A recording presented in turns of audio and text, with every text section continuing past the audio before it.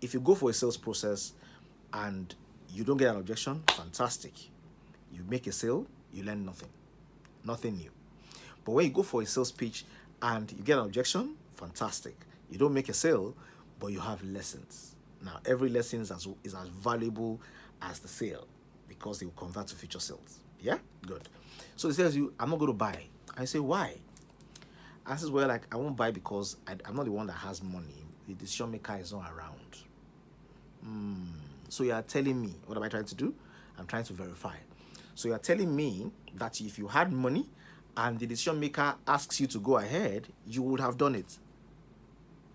Now, if it's correct, then the guy says yes. Okay, so if I call the decision maker and I tell him to instruct you, can we deal? What am I saying? I'm making double sure that the reason why they're objecting is what they have defined and I can find a way around it.